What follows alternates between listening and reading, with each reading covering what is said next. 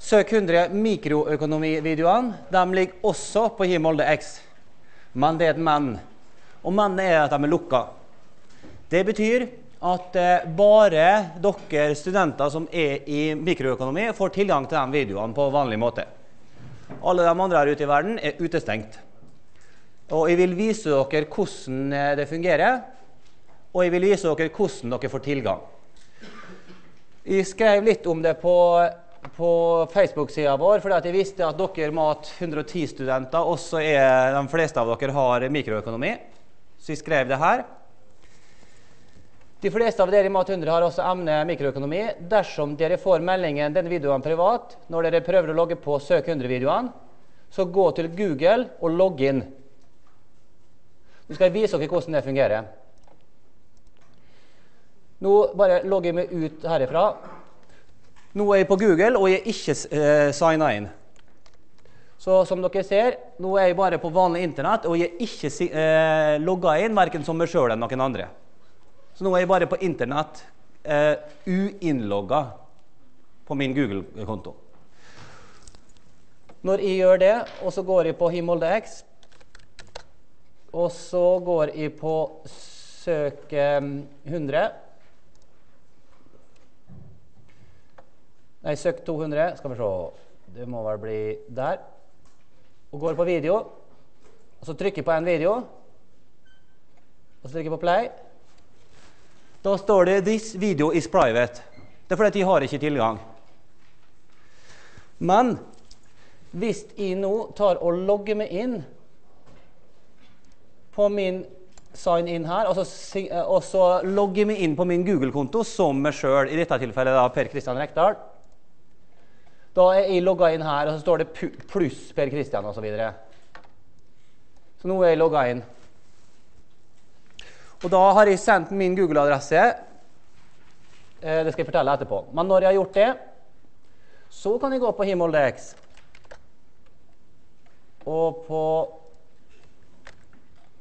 mikroøkonomi. Og så går jeg på video. Og der kom videoen opp.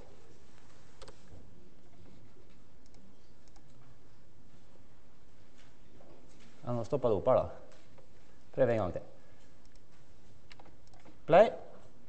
Og der ser dere videoen komme opp. Det er fordi at det vi gjør da, Alle som har en Google-konto, de legger til en liste. Og det er en sånn tilgangsliste. En såkalt Google Circle for, for dere av dere som kjenner til det. Det var dårlig reklame, skal jeg innrømme. Ok. Så det jeg gjør, dere av dere, det Vi gjør da, vi legger dere studenter inn i en sirkel, en circle, eh, Google Circle, som dere kanskje har hørt om. Og de som er i den sirkelen, får lov å få tilgang. For at dere skal gjøre det da må jeg sjekke bare da. Jeg lurer på om det er noe med plug-in i maskinen min. For, dere, for, at dere skal gjøre det, så må dere sende en mail til det som står helt nederst på Himolde X her nå. Her står det Der så står det at dere sender en mail til post krøllalfa hi molde x.no. Og så sier dere at dere ønsker tilgang Ønsker tilgang til søk 200 videoer. Men da må dere sende dere en Google-mailen deres, eller iallfall den kontoen som dere er assosiert med ved Google. Så de av dere som ikke har en Google-konto, må opprette det, og det er gratis, og det er gjort på et par minutter. Og så sender dere den eh, Google-mailen, altså gmail.com-mailen, til dit nå og si at dere vil ha tilgang. For den av dere som har en Google-konto eh, som er veldig veldig gammel, så er det også før i tida, for noen år siden, mulig å ha en Google-konto uten å ha en gmail.com-adresse. Så Heidi Høgstad sjøl har faktisk en eh, Molde-adresse som hun er registrert på på sin Google-konto. Så hun sendte den adressa. Men jeg regner med at for de fleste av dere, kanskje 90% av dere, så må dere sende gmail.com-mailen hit nå, og så legger vi dere til den sirkelen. Og da, når dere er logga på, sånn som her, pluss Per Kristian, så kan dere gå inn på Himolde X og få tilgang til Søk 200-videoer. Hvis dere lurer på noe, eller hvis det ikke funker, send post dit nå. Eller dere kan chatte med meg på Facebook-gruppa vår, eller direkte, eller direkte. Men her er det folk som sitter og jobber hele tida og, og svarer.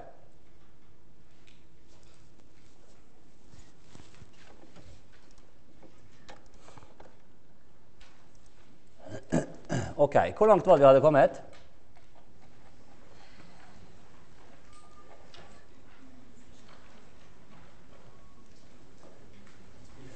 Vi kan gå på side 78.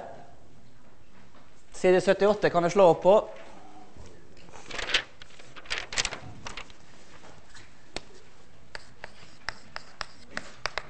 Eksempel side 78. Vi så på et eh, eksempel på hvordan vi regner på på hvordan vi regner på um, sannsynligheter. Tvillingsetninger, total sannsynlighet.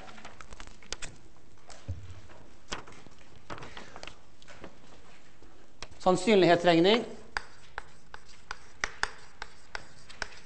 Metode 1, 2, 3. Dette var tre steg som ikke står i kompendiet. Dette var tre steg som vi skrev ned på tirsdag. Og for at vi skal ha, Jeg husker ikke om det var på side 78 eller 80, eller hvor dere skrev det ned, hen, men det var i området der. Så dem av dere som ikke skrev dem ned nå, kan gjøre det en gang til. Og nå spør jeg for å få samme ordlyden. Hva var det som var steg én når vi skal regne på sannsynlighetsregning? Hva var steg én? Norsk til matte. Norsk til matte. Hva det betyr dette her? Eller vi kan gå gjennom det her først. Når vi har gjort det fra norsk til matte, hva er steg to? Kartlegg. ja. Hvordan var, ord, hvordan var, ordlyden sist gang? For jeg husker det ikke, så, ikke, så vi har det samme. Ja. Kartlegg hva som er oppgitt.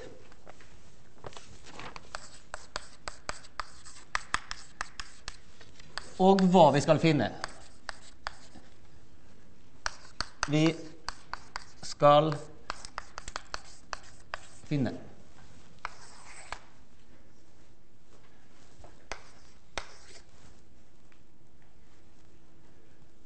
Hva var det tredje og siste steget?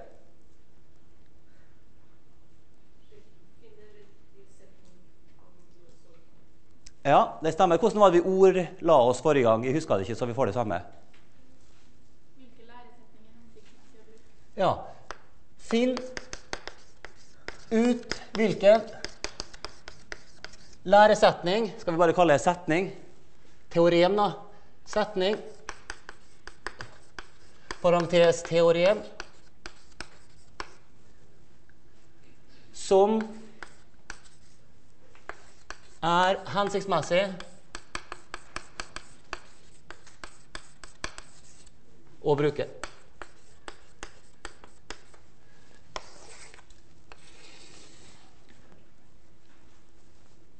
Jeg tror det var bare tre steg, var det ikke det?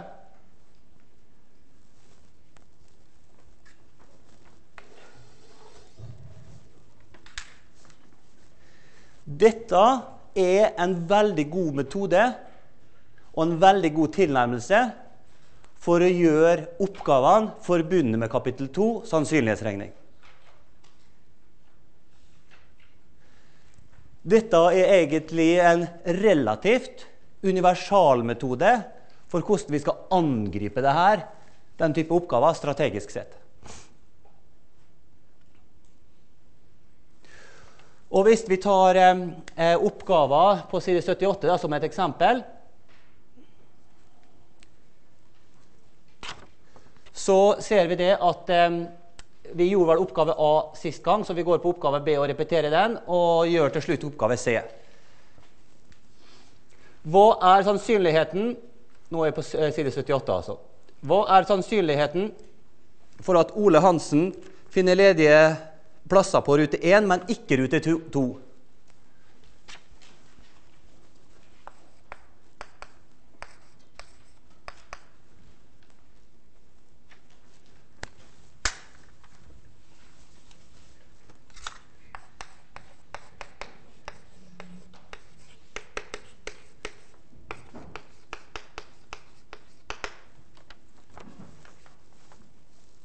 Kanskje det vanskelige i den oppgaven her, og egentlig statistikk generelt, er da at vi må sette oss inn i oppgaven og finne ut hvilke begivenheter er det som er hensiktsmessig å definere oss.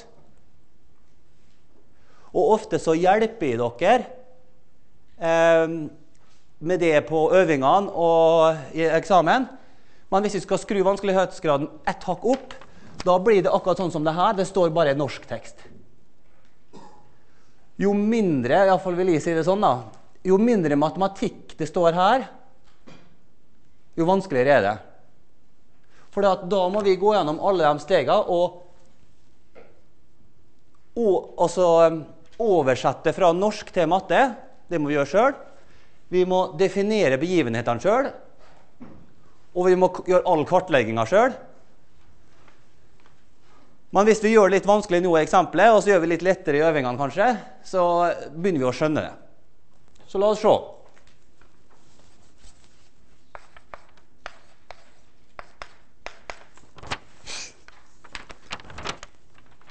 Hvilke begivenheter tror dere er hensiktsmessig å definere her? Her dreier det seg om logistikk og transport. Transport av mennesker, persontransport. Eh, bussen, og, og, det store spørsmålet er om det er ledig sete på en buss eller ikke ledig. Og Vi har to ruter, buss 1 og buss 2. Hva tror dere er hensiktsmessig å definere oss av begivenheter i den sammenheng?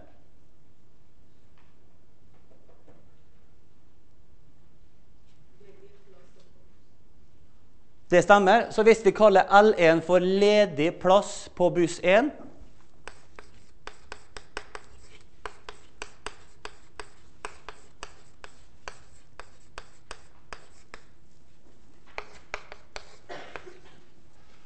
Og L2 ledig plass på buss 2.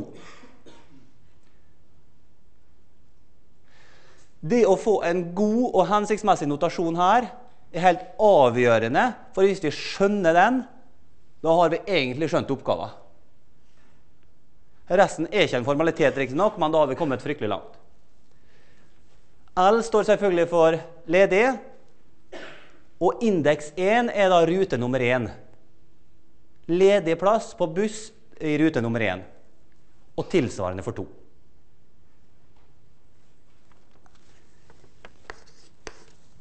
B. Oppgave A gjorde vi forrige gang, og så repeterer vi B. Hva er sannsynligheten for at Ole Hansen finner ledige plasser på rute 1, men ikke 2?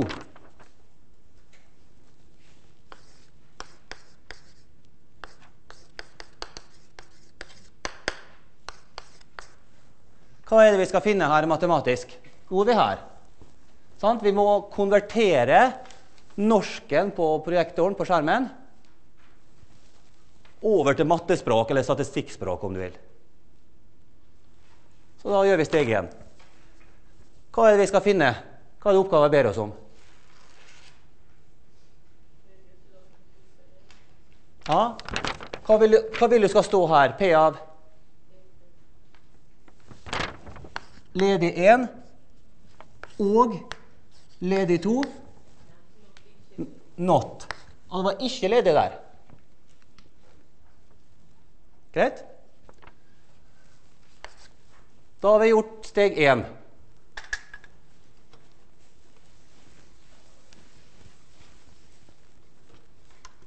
Steg 2. Kartlegg hva som er oppgitt, og hva vi skal finne. Skal vi se, Nå visker jeg vekk det som var oppgitt. Men eh, la oss prøve da, å skrive det en gang til. For at metoden her er så god at selv om vi repeterer oppgave B fra i går, så er det metoden som er viktig å få inn. Tilnærmelsen, hvordan vi angriper oppgaven.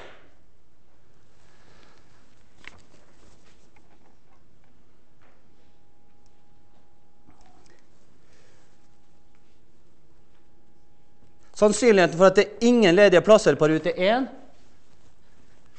P av L1 not er lik 60% Tilsvarende for rute 2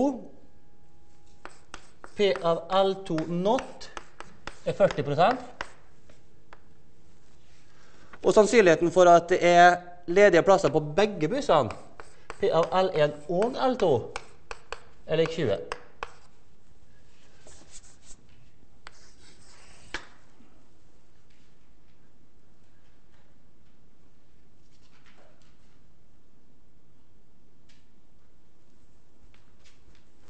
Da er vi ferdig både med én og to. Vi har oversatt fra norsk til matte. Vi har funnet ut hva vi har oppgitt, og hva vi skal finne. Da er det bare ett steg igjen.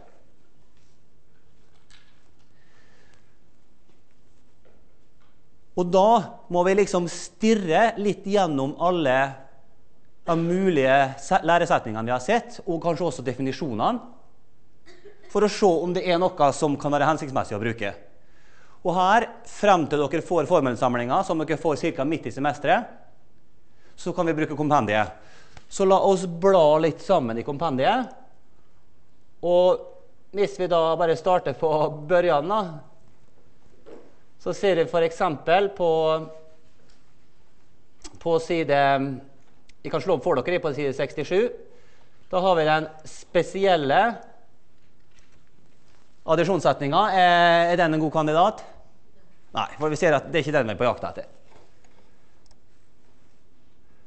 Men eh, hva med den eh, generelle? da? Den er jo litt mer generell. Er den en god kandidat? Nei. For at, eh, du ser at vi, vi har noen sånne mikser her. ene har noe, og den andre har det ikke. Så vi må ha noen miks, og da begynner vi å ane hva for noe. At det kan være en god kandidat kan være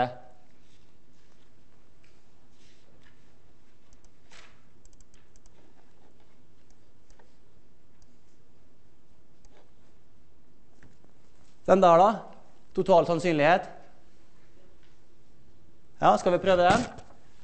For den ser ut som en god kandidat. Eh, skal vi se Kartlegge.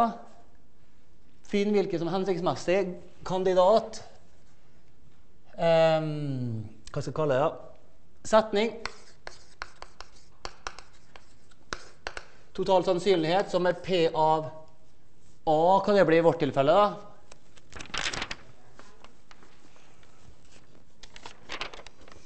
Bare slik at jeg er sikker på at jeg får samme notasjon som før. P av L1 kjenner vi, og hvis det blir L1 der, da blir det P av L1 og L2 not pluss P av L1 og L2. Men jeg skriver ikke A og B, for det er jo bare generelle betegnelser. Her har vi ikke A og B, men vi har ledig 1 og ledig 2.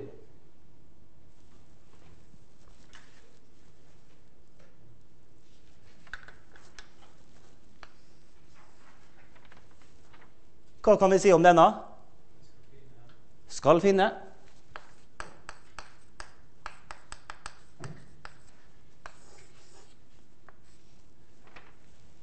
Hva kan vi si om denne? Den er oppgitt.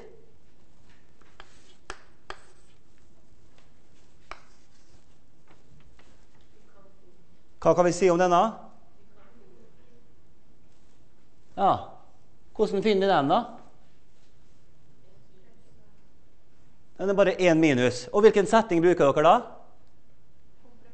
Komplementsettinga. Bra. Hvis vi skriver sånn, da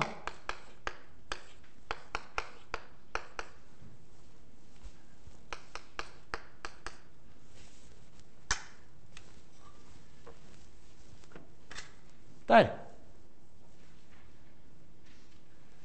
Med andre ord, vi har 0,4 er lik P av L1 og L2 not pluss 0,2.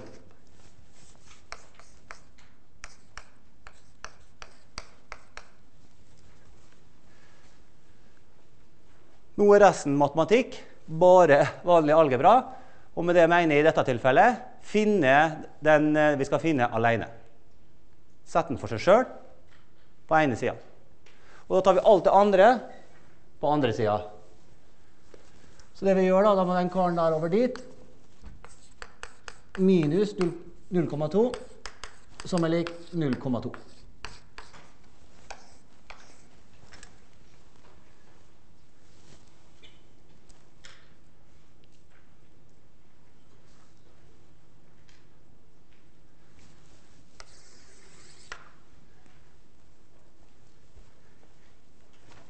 Vi er veldig tilhengere av å ha sånne tolkespørsmål, fordi at mange kommer fram til rett svar.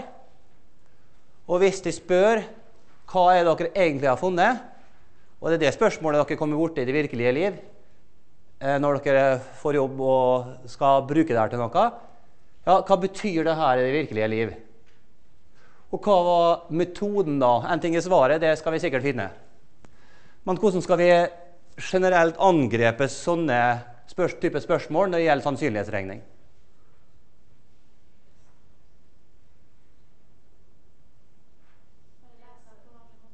Det er helt rett, eh, og jeg sier det høyt så alle hører det. Vi bare leser av på vanlig måte. Startet fra venstre til høyre på helt ordinær måte. Og bare husk på det enkle faktum at P står for probability på engelsk, eller sannsynlighet. da. Sannsynlighet Sannsynligheten for at det er ledig i sete i buss 1 og ledig sete i buss 2 er 20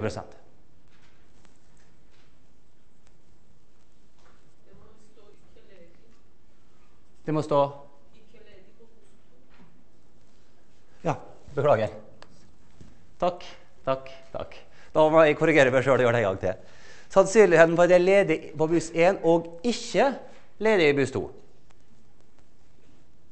er 20% Bra. Takk skal du ha.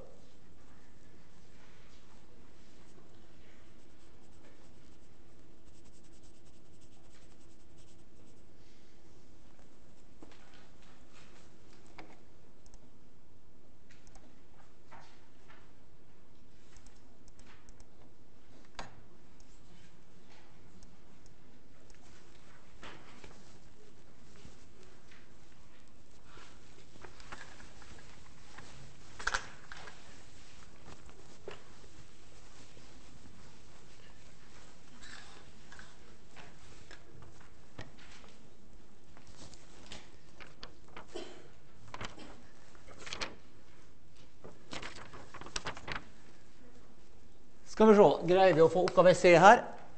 Oppgave C. Hva er sannsynligheten for at Ole Hansen verken finner ledig sete i rute 1 eller rute 2?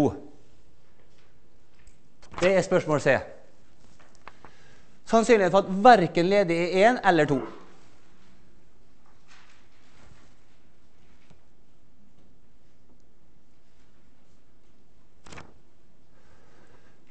Det betyr at det er opptatt på begge, begge bussrutene.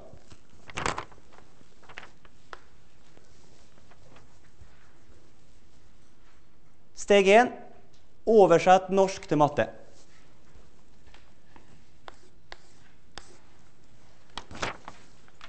Hva er det de spør her? At det er verken ledig på rute 1 eller 2. Altså at begge bussrutene er opptatt. Ingen ledige seter.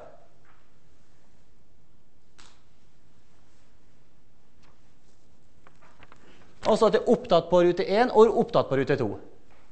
Det må jo bety ledig 1 not på 1 og ledig 2 not. Kjøper dere den?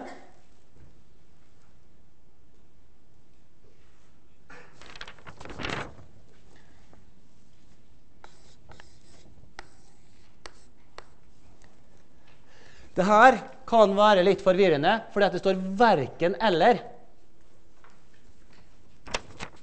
Men her er det jo òg. Hva som er galt?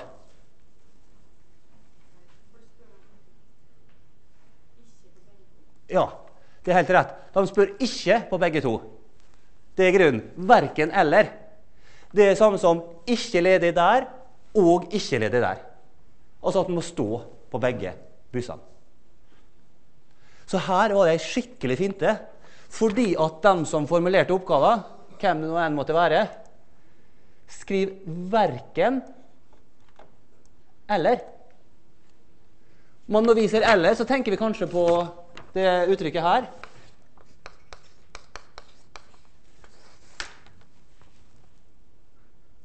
Men det som faktisk står her, er òg. Så der, ble, der var ei skikkelig felle, altså. Men tenk på hva som står, at det er verken ledig i én eller to. Det betyr at det er ikke ledig i én og ikke i to. Det er kjempefint, det.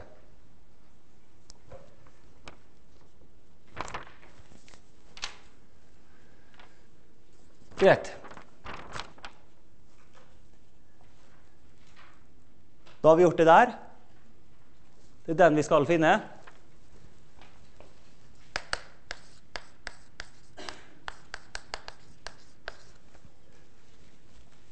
Og det er dette vi har oppgitt.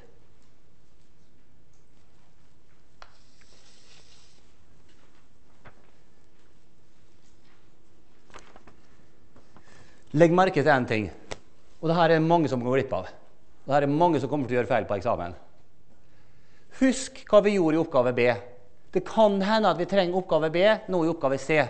Så skriv opp oppgave B, så vi har den. Det er ikke sikkert vi trenger den, men ofte så gjør vi det, men ikke alltid.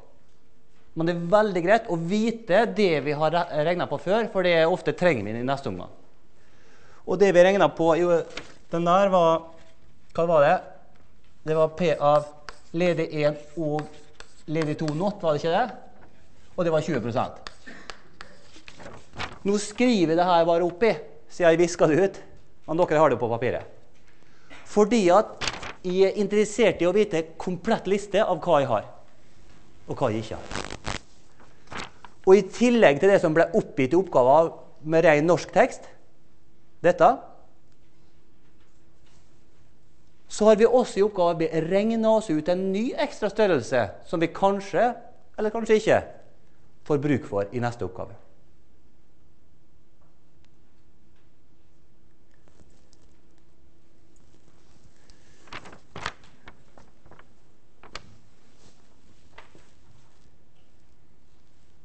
Finn ut hvilken setning eller teorem eller kanskje definisjon som er hensiktsmessig å bruke. Formelsamling, eller foreløpig da, kompendium. La oss gå på total sannsynlighet. Den har vi brukt før. Men her er det begge to notter. Inngår det dobbeltnotting i total sannsynlighet? Nei, men du kan faktisk få det til på en ting, så vi skal ikke ekskludere det likevel. Jeg skal komme tilbake til det seinere.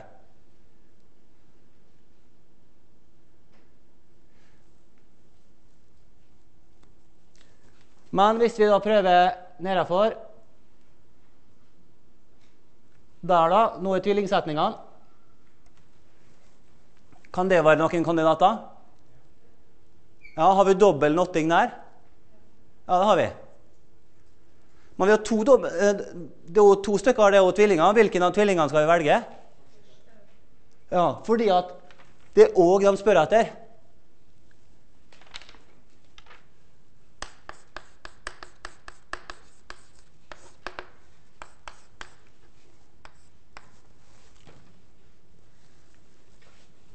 L1 not og L2 not.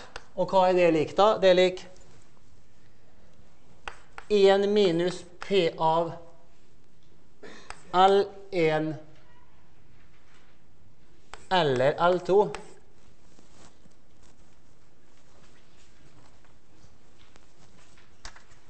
Den her, hva kan vi si om da?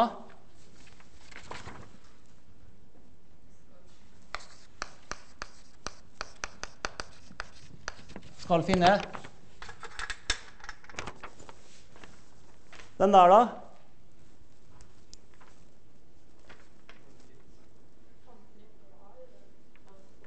Ja. Det har jeg faktisk kanskje glemt å skrive opp. da. Hva vi hadde i oppgave A? Det var PA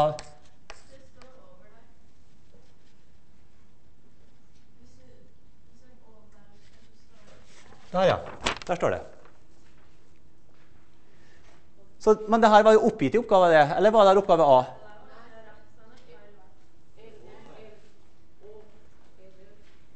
Den her er feil vei, tror jeg. Ja.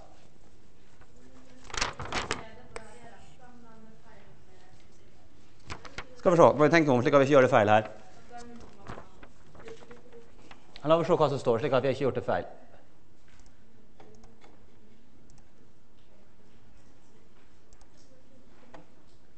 Sannsynligheten for at det er ledige sitteplasser på begge er 0,2.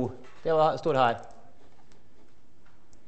Ledig på begge er 0,2. Da er det ledig én òg. Da var det rett som det sto, da.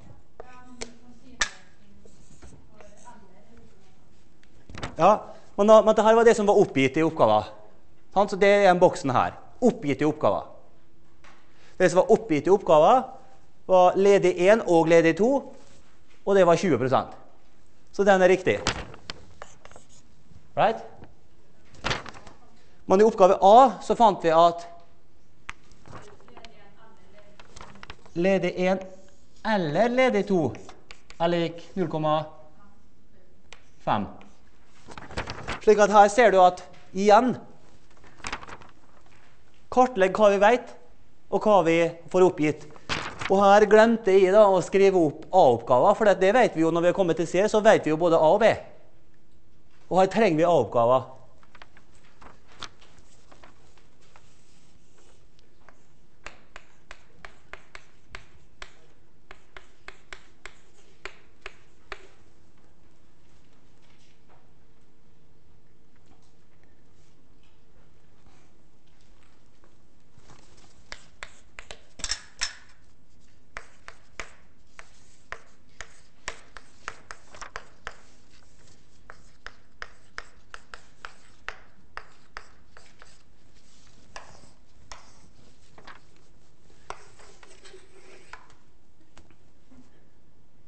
Ferdig.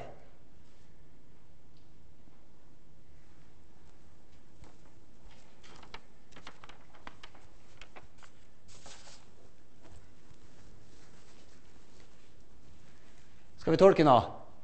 Sannsynligheten for at det ikke er ledig i rute 1 og ikke ledig i rute 2, er 50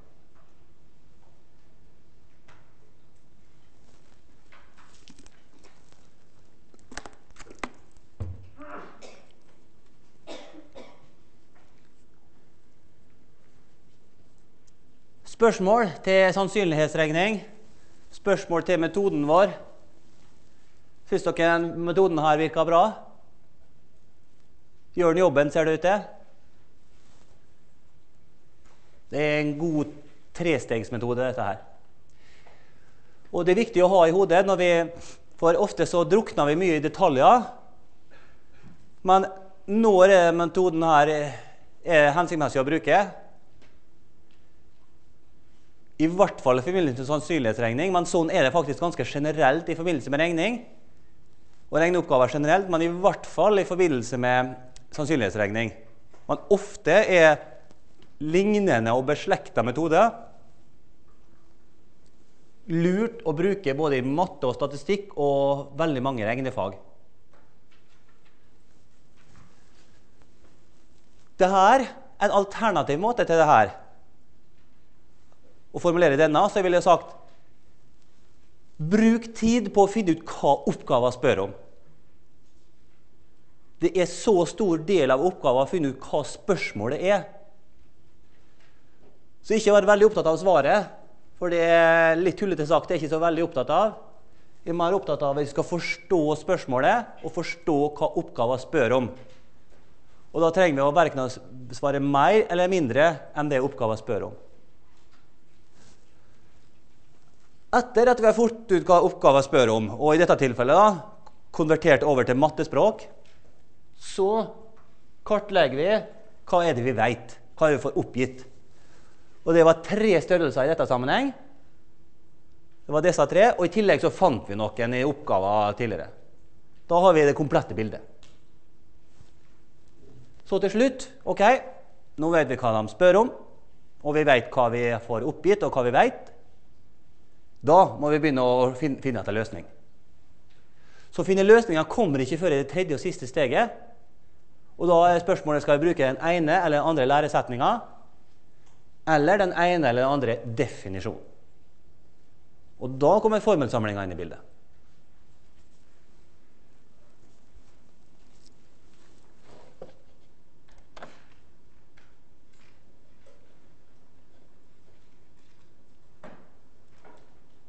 Der ser vi tydeligvis bussen komme.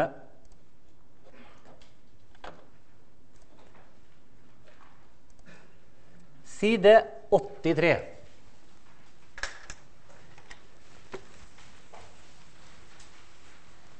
Nytt kapittel.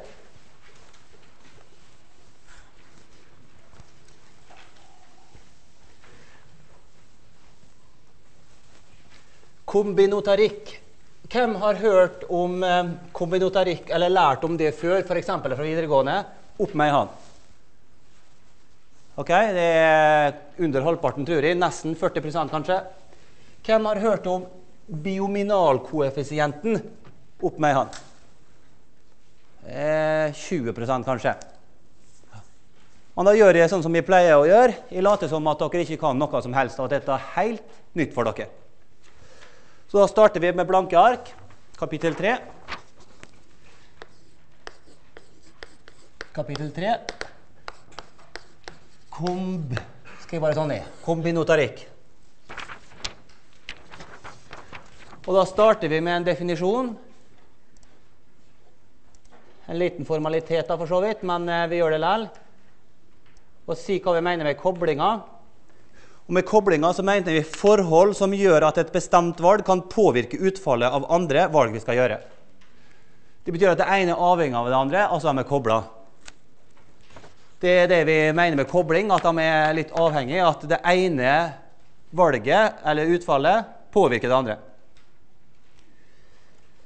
Så har vi et grunnprinsipp som vi skal bygge det her på i hele dette statistikkurset. Og vi skal ikke ha ett eneste unntak.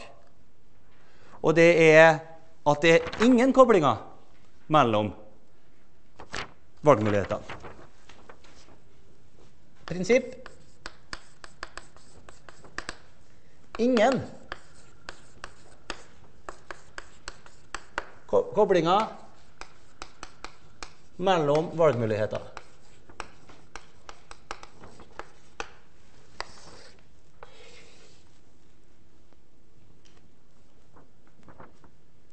For hvis det er koblinger, så blir det ekstremt vanskelig. For da må vi beskrive i hvilken grad koblinga er, og på hvilken måte. Eh, og det er, så, det, det er en egen business. Og vi skal ikke innom det engang i det kurset her.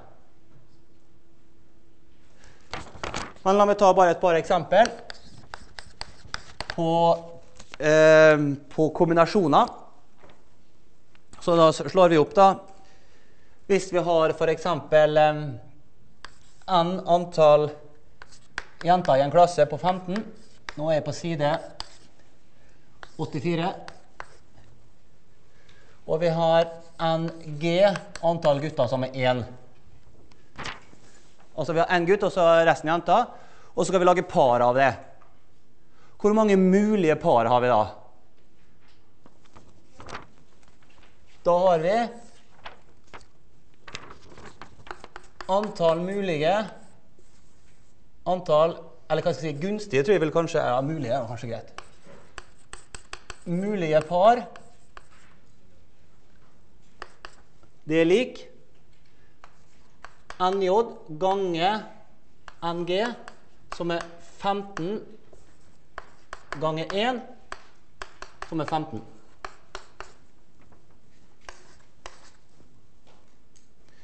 Så hvis vi har én gutt og 15 jenter i en klasse, så kan, vi lage 15 mulige kombinasjoner. Eller 15 mulige par.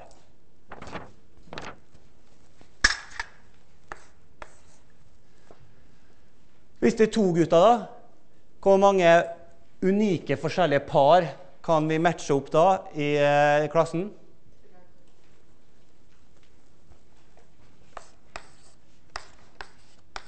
Da er det 30. 30 forskjellige par.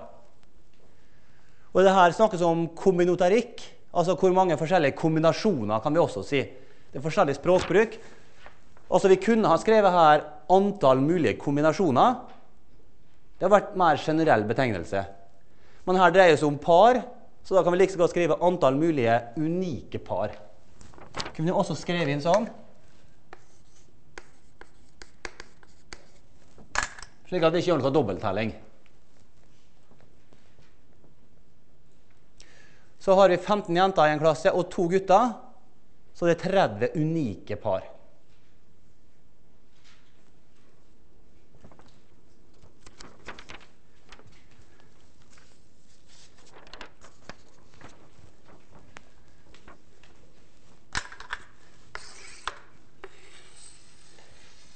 Jeg tror ikke det er mange som er her fra sportsmanagement, men jeg tror det er noen. Er det noen som er fra sportsmanagement? Ja, det er noen få. Jeg ser det så vidt. Det var litt tallene opp. La oss ta et eksempel for dem. La oss se på tippekupongen.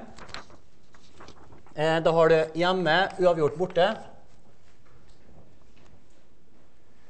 Og la, la oss bare si nå da, at tippekupongen eh, Eh, består bare av to rekker. Ikke tolv kamper, men to rekker. Eller bare én kamp. La oss se på det først. Da har du hjemme uavgjort borte, og da har vi selvfølgelig hvor mange kombinasjoner? Da har vi tre.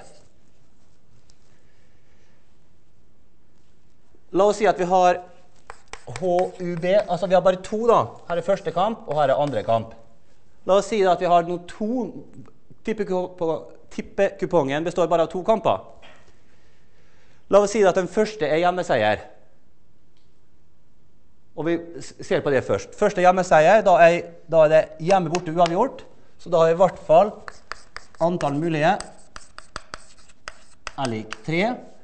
Hvis den er hjemme, så har vi 1, 2, 3. Men hvis den første er uavgjort, så har vi den uavgjort, så har vi 1, 2, 3 her òg, forskjellige.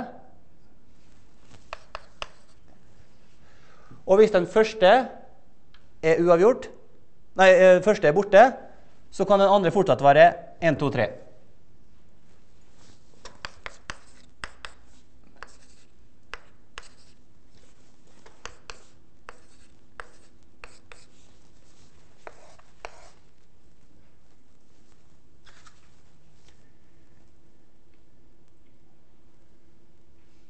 Skal vi prøve å skrive opp alle ni kombinasjonene? For dette er jo bare ni. ikke sant?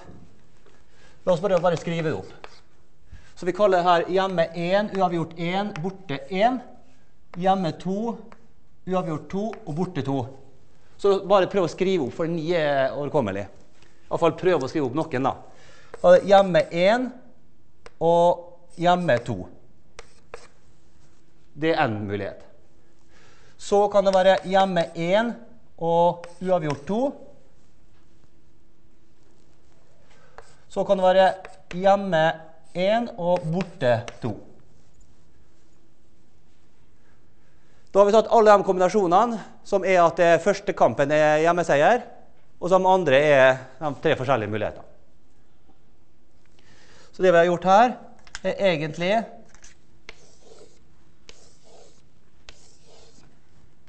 Bare, okay, hvis den første, er, første kampen er hjemmeseier, så kan den andre være kamp nummer to være hjemme, uavgjort, borte. Ok, men Hvis den første da er uavgjort, uavgjort, uavgjort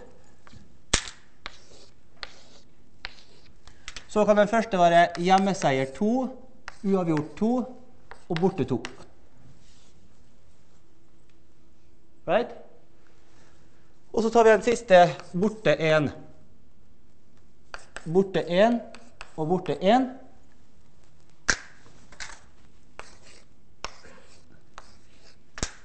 Da kan den andre kampen være hjemme 2, uavgjort 2, borte 2. 1, 2, 3, 1, 2, 3, 1, 2, 3.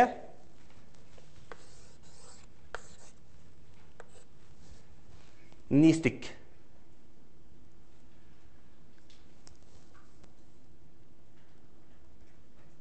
Ni stykk. Så hvis tippekupongen hadde bestått bare av to kamper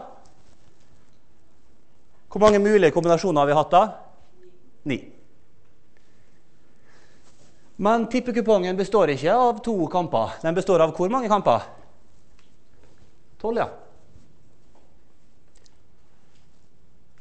Så det består ikke av to, men av tolv. Så hvis vi da stryker ut tallet og skriver tolv, og så tar dere opp kalkisen alle sammen her og nå, og skriver tre i tolvte. Alle må ta fram kalkisen, for dette er det vi må kunne i det kapitlet her. Og f.eks. regne ut tall tre i tolvte. Så ta med dere kalkis på forelesningene. Den trenger vi på, ikke bare på forelesningene, men også på øvingene, for ikke å snakke om eksamen. Tre i tolvte. Ta fram kalkisen alle sammen og ta det. Tre i tolvte.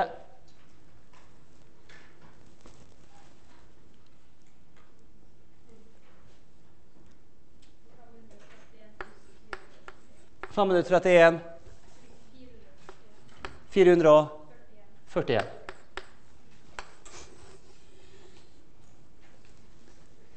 I en tippekupong så er over en halv million kombinasjoner. Over en halv million.